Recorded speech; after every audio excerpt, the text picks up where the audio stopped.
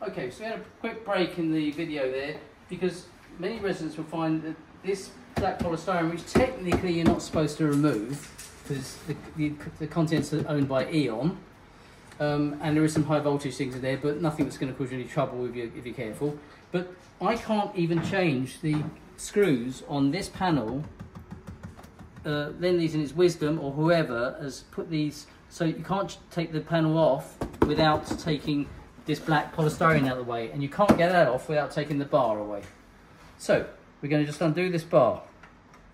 Don't forget, this is the thing. Technically, this is E.ON's territory, but uh, we, we you, residents need to be able to deal with this. Precaution when going behind the black polystyrene. So I'm going to take this one off, and on this side, come around here.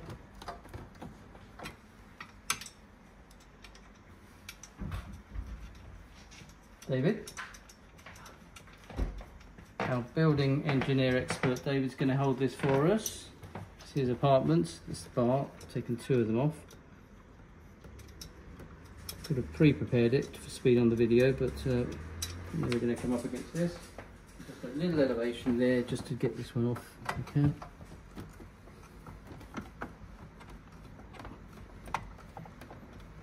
So again, this is something that's well within the ability of anybody, but it's just a bit irritating if you've got one of the systems that you can't get access to the slave control panel.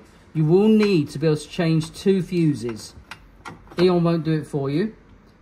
Uh, there are people in the building that will help you, of course, but you should be able to do the fuse changes yourself. But in this particular case, in this particular apartment, like many no doubt, the uh, we can't get access to it. So we're going to, get that's it. Now, you won't be able to, it's on, a, it's on a tether, so we'll bring this down here. There's nothing live behind here. We can put it on the floor if there's enough room. Just enough length there. There we go. We can get it, probably if we do it this way up, oh, just, just have it out of the way for a moment. And then we can just slide this black, black polystyrene off. There it is. There's nothing scary behind it. It's just the heat pump. Don't bother taking this one off, just to show you what's behind it. This is the works. This shows the pressure of the system on both sides. There's a, there's a refill loop down here for refilling the system if you run dry. Shouldn't need to touch that. Uh, there's a thermocouple here. Okay, and then there's the important heat pump here. Um, and interestingly, some spare slow blow fuses. How lovely. Okay, so that is good. But I'm going to pop this back here because all we need is access to these boxes. Okay, and these are the four screws you want. Okay, this is the slave box, this is the master box. You can see it labelled power, valve, pump, boiler. There's no power, there's no green light there. They're usually green or, or, or, red LEDs. These ones are usually red or orange, these ones are usually green. We'll, we'll check. I've taken out one screw, but I've got to get the other ones out. So you can get behind this. This is low voltage. Okay, there's a high voltage wire coming in, but it will be secured properly. So, let's see if we can get this thing off, which means we're just getting in here, undoing these. That one's moving. Watch where you are with the, you know, with live wires. There should be no, nothing live, okay? But just keep an eye on things. Okay, this is this is the other fuse in the welcome pack, the other fuse. So take this one off. We take this one off.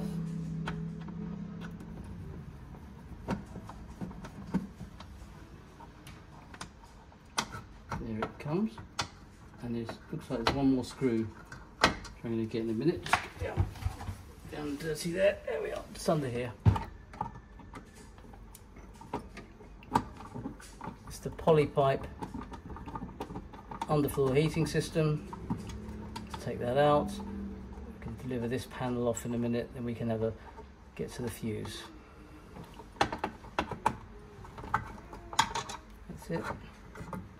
It's just it's held on there, so this one spins down rather than pulls away. And your fuse is in there. Now I recommend before touching this, you turn the 5 amp fuse off up at the, uh, the main heating spur. So remember back here, we're going to come back here, turn this this heat this fuse off just to make that safe. Then back to here. Just, this just wrestles off. There it comes. It wrestles off, and here's the fuse. Now, sometimes it looks blown, and it clearly is blown here. If you can just look close up, it's all it's called corrupt. I'll show you what a new one looks like. I bought a new one for David. In fact, he's got his own. See what it is in the pack. Here we are. Let's have a look at the new one.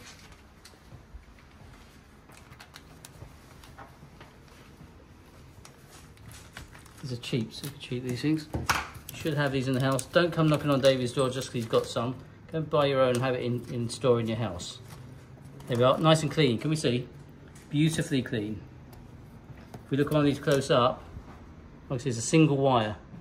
And compare the corrupt one that's blown up. Can you see it? So let's give this and put this in the bin. I'm gonna, and to prove, well, we, we could prove the point with the meter if we want to, but we can here quickly with the meter. Let's have the two fuses. This one, just to prove the point how a meter works, we'll put it again on continuity phase. Well, it's anywhere at B&Q. This one shouldn't be continuous, dead. The new one, hear it? This one goes in the bin. We'll put this one in the system. Get the system back in action. So, it just sits in like the one, slides in. Dust there, just pop that in there. You can see it's a bit blackened, it blew up. Something happened, it blew up. Now that tells me that we need to do something else before turning it all on. It blew up, that fuse. I'm going to take off these valves in a minute because if one of them is stuck, it can make the system under tremendous pressure and blow. And this 5 amp slow blow will be the first one that goes. Let's put it back on, right in here. Let's put this one back in. That's in now. So the first thing we're going to do is just put the 5 amp fuse on over here. Light. And see if the lights come on. Wait, see if it blows. Before I do that, I'm just going to remove these valves. It's important because that one's been on some load and blown up. These are easy to remove. These are the valves that the thermostats control. And you unscrew it to get it going, you turn the silver screw and the actuator together anti-clockwise. If you just turn this doing nothing, you've got to hold the little screw, I'll show you in a minute, underneath, just to get it moving. It's quite tough. There we go. Once, once it's moving, you can then turn the screw yourself. I'll show you what the screw looks like in a minute. It's moving now because if what, if all the system, if the fuses are intact and the system's still blowing, it's typically due to one of these being defective. I'm just loosening myself. The screw, you can see the screw underneath turning. There it is. The screw turns separately, and the red bar should be intact. This is fine. It sits back on there for the moment. Keep them in the same order. They are labelled living room, bedroom one, bedroom two, and that one's unlabelled. But keep them in the same order. If necessary, just gently put it back on. Let's get the others off. And then I'm going to ask David if he's got a spoon, a teaspoon. I'll explain why in, in a minute. Let's get these all off. Okay. Let's get this off now. If, you, if you're lucky to have only four, that's fine. Some partners have got 12 of these. It quite tiresome. So, get this off. Just turn it by hand underneath. There we go, that's the second one. Let's quickly get the other two off. The important thing is that sometimes these valves become jammed. This is why you're advised to turn your heating off on briefly during the summer, just once or every quarter, just to get the system working. Here we are, I'm now turning this under this, this screw quite freely underneath, under the body, under the white plastic actuator. That's the third one. Okay. And finally, this one here. One's quite tough. They haven't been taken off, I don't think, for a while, but who knows. So just unscrew this one. You can see my fingers turning the screw underneath. Turning the, the white thing is just to get it going. Okay, let's get it on. Good. So let's put them in order. Keep them in order. Not the end of the world we don't keep in order, but let's do it the right way. There we are. Now, the, the spoon. Thank you so much. These little pins here are what inside, when the, when the thermostat calls for heat and turns it on, this thing directs this pin to go down to open up the to uh, to open and close the flow. So we've got to make sure this this is springy. I can fit it nicely. It's springy. It's not jammed. If it was jammed, you need to put a bit of WD-40 on.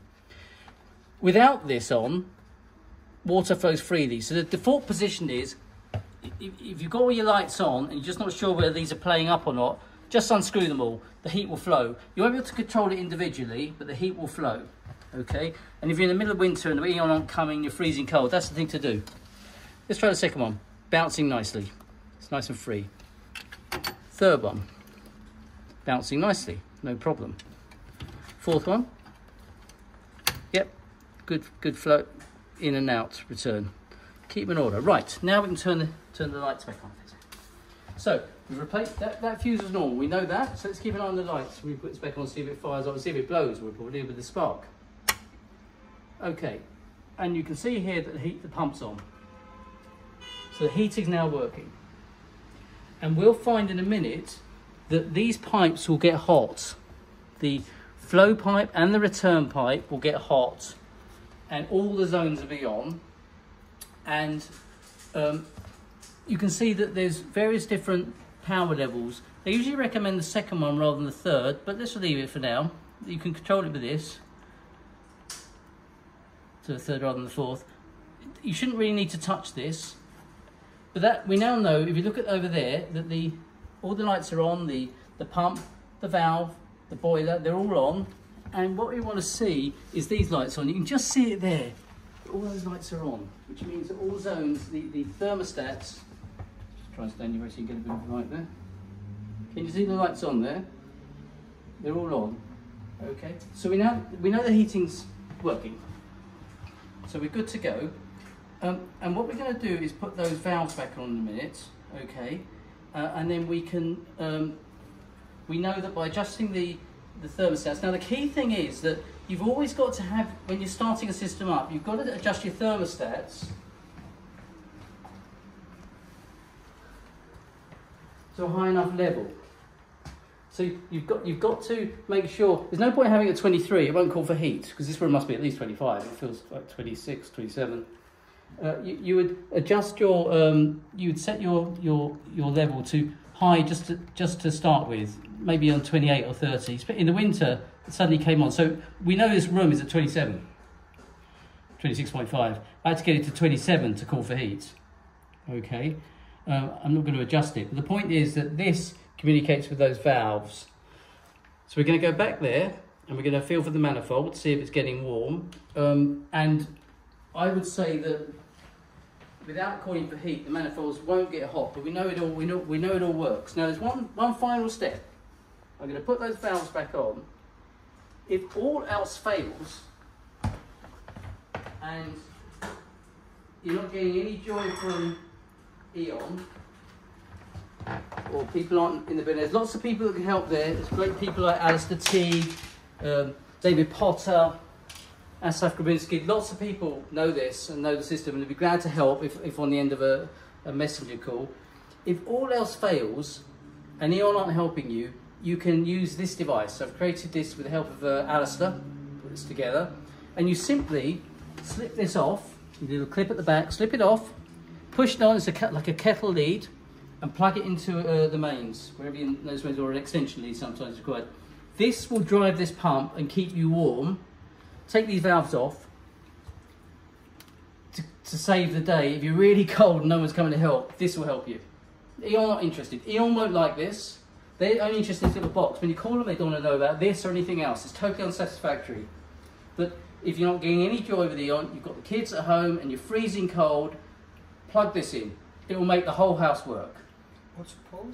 Uh, well, it's, it's, it hasn't really got a name. It, it's, it's like a kettle lead uh, that is connected to the mains. If you like, it bypasses all of the valves and it simply drives this pump, letting the heat come in. And you've got to have these valves open. If these are on, the thermostats will be stopping it. They're waiting for an instruction. You have to just have these off. Okay, so it's just really a kettle plug, a bit like the. It's not actually a kettle plug like a PC, but it's very similar.